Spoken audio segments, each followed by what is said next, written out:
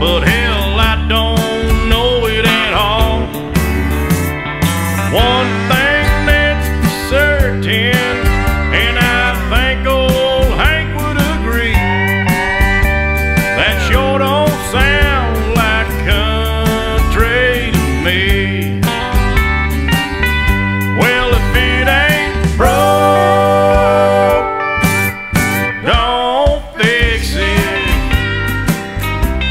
If it ain't Johnny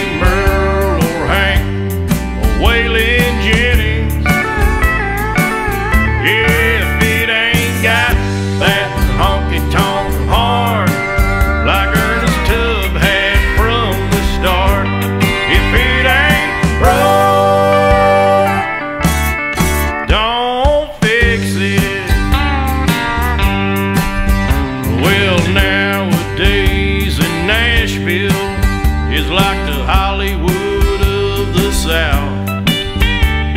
So called.